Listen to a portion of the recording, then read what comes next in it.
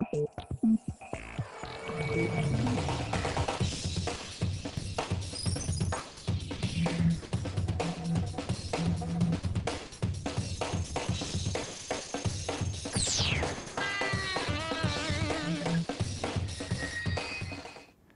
Happy Friday and happy holidays, and welcome to WatchGuard Security Week in Review, a video podcast dedicated to quickly sharing the biggest information and network security stories each week and to sharing some practical security tips along the way.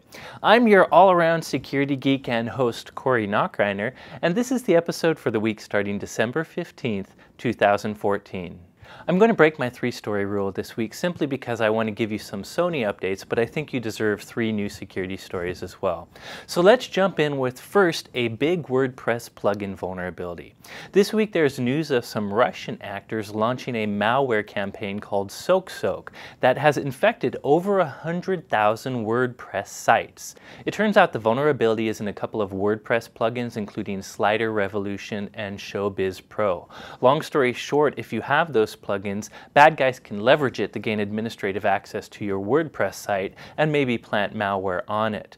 Now the good news is these plugins were patched long ago. If you have Slider Revolution 4.2 or higher, or you have Showbiz Pro 1.53 or higher, you're safe.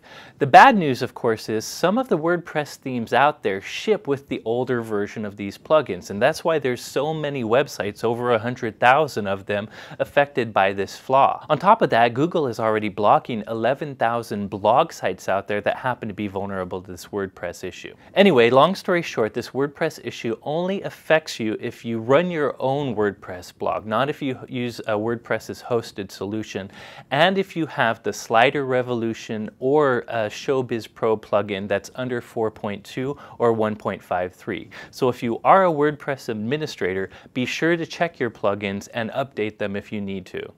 Next, I need to cover yet another named vulnerability. I'm really kind of getting sick of adding names to vulnerability to get media attention. That said, it is important you know about this vulnerability if you use a router. Checkpoint has released details about what they call misfortune cookie, and that's just a fancy name they gave for a vulnerability in kind of a web application framework called ROM Pager.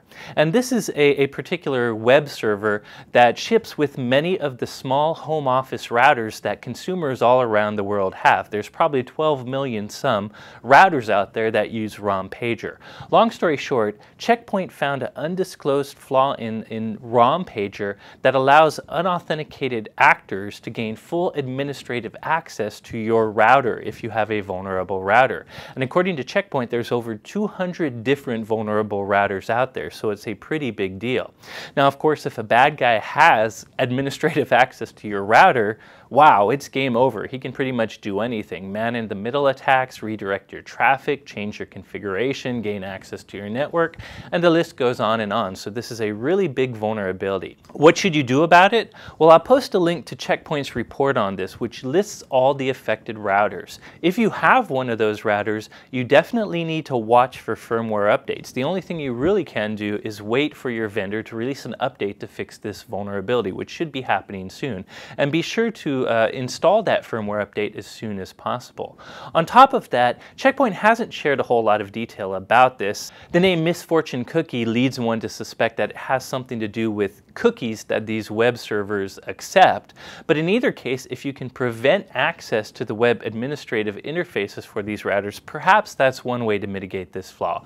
But anyways, if you do have an affected router, be sure to patch as quickly as you can. For the final news story, I want to cover yet another very significant breach. And I suspect this breach won't get as much airtime with all the noise going on with the Sony hack, which granted is probably a much bigger deal. Nonetheless, this is a pretty big deal too. This week, ICANN, which stands for the Internet Corporation for Assigned Names and Numbers, announced that they had been breached by external hackers. And by the way, that fancy name just means ICANN is a nonprofit organization that handles domain name services and, and registration of domain names.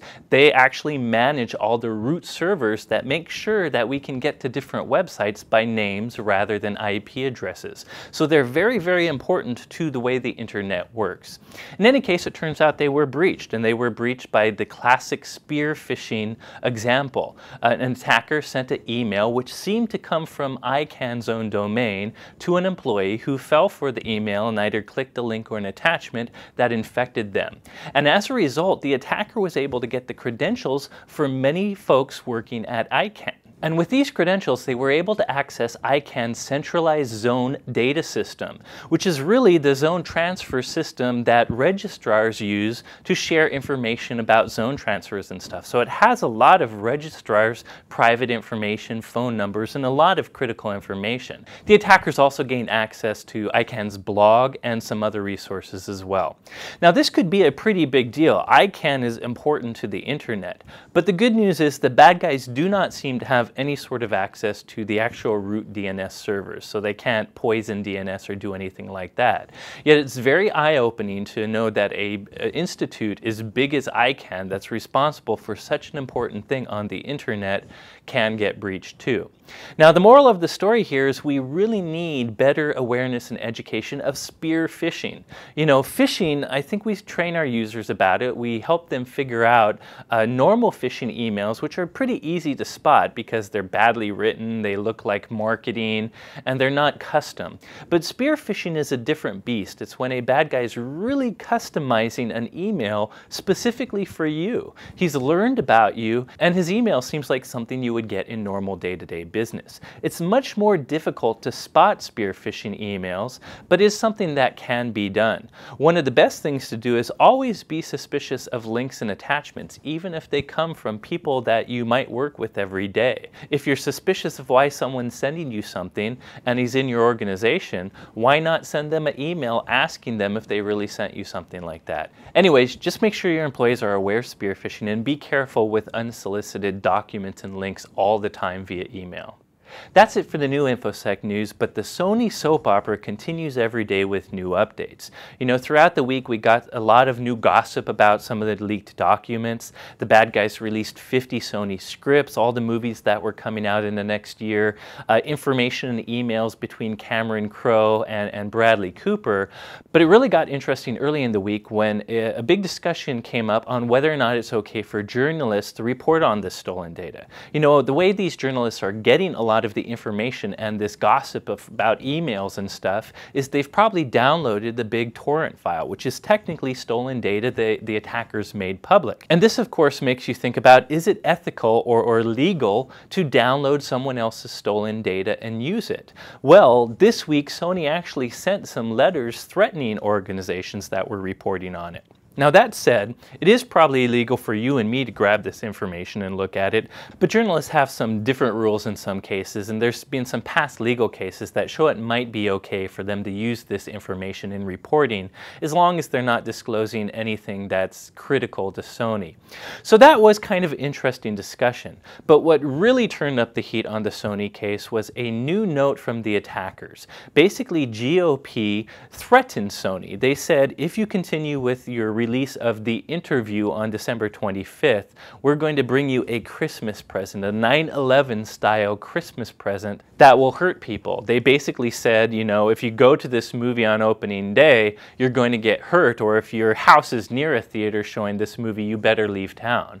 So it was pretty clearly a, a some sort of terror threat, like they're going to blow up a theater. Now, whether or not they have that capability at all, or if it's even true, this started a big chain of events. Essentially, so Sony said they wouldn't hold it against theaters if they didn't show the movie. A number of theaters quickly fell and decided not to show the movie, and ultimately Sony themselves pulled the movie and said they're going to remove the theatrical release of the interview because of this threat. Now, meanwhile, you got to realize that our own Homeland Security in the US says that the actors in this case have no way to, to pull this off. We don't think they're actually capable of doing any sort of physical threat. Now here's my personal opinion, and I actually feel pretty strongly about it. I don't want anyone to get hurt over a movie. For someone to die for a, a silly movie, a movie that might not be even that good, seems like a bad idea. On the flip side, Sony never should have caved to this. This is going to set a horrible precedent, which is going to have a huge effect across the security industry, across, you know, just internet businesses. If you cave to your attackers' extortion and submit to their demands, that's not going to stop them from doing something bad. Rather, that's going to give them the power to continue doing what they're doing and to probably do it even more aggressively. That's why we always say, in the US anyways, that our government says we do not negotiate with terrorists. It's a bad idea, sets a horrible precedence. There's no guarantee that the attackers still won't carry out threats against Sony, even though they pulled back this movie. Meanwhile, pulling back this movie is, is showing hackers that it's profitable to do these attacks. So they're going to do more and more and more attacks. So before this, I was kind of on the side of Sony to some extent. Granted, Sony has had problems before. They may not have the best security. They may have people working for them that say silly things. But really, Sony was the victim in this attack. It's not their fault that a malicious attacker attacked them. So we shouldn't blame them for the attack. However, the fact that they caved to this threat makes me feel a little less supportive of Sony. Caving to this threat is really going to change the nature of cybersecurity. It means all the other businesses out there may be under higher pressure attacks just because we've proven to attackers that we're willing to submit to their demands and give them money just to get them off our back. Even though, by the way, it's no guarantee that these attackers will stop. So we will see how that plays out in the long run. And do you know the White House has commented on this attack now? While there are apparently some unnamed internal government sources that say this is a North Korean attack, the White House still is not, uh, you know, saying or attributing this to North Korea. And yet they do say that they will be taking action, that this is a serious attack uh, that affects national security and they will take some sort of action. So I'll continue to follow this attack, of course. It's going to be the biggest news for a while. I'm sure we'll get more updates, so look forward to them. Well, that's all for this week. I hope you found it interesting, fun, and educational. As always, there's a bunch of other stories. For example, there's a great video demonstration of bad USB, and we learned that some mobile carriers have some vulnerabilities in their tech services. If you're interested in those stories, be sure to check the extra section of the blog post associated with this video. It has a lot of other stories there. And you can always find that at blog.watchguard.com, where I post uh, weekly security posts and of course this video. So be sure to subscribe to that. Of course, you can also follow me on Twitter. I'm at SecAdept, or you can follow WatchGuard at WatchGuardTech. Before I leave you, real quick show note, I'm going on my, my holiday vacation for Christmas, so for the next few weeks I'm not going to be posting a video, but I look forward to seeing you next year when I post my first video of the year. As always, thank you for watching, and here at WatchGuard, we're rooting for you. You. Thank you.